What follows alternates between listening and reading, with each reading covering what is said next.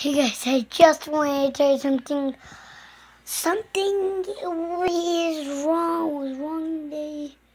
I just broke up the biggest piece of freaking cardboard. It was so big. It was almost bigger than my dad's door. It was almost. That's why I was freaking out and I broke it. I just broke it.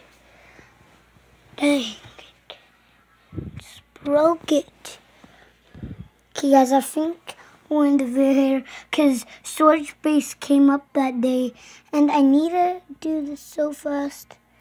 Yeah, I just need to do it so fast.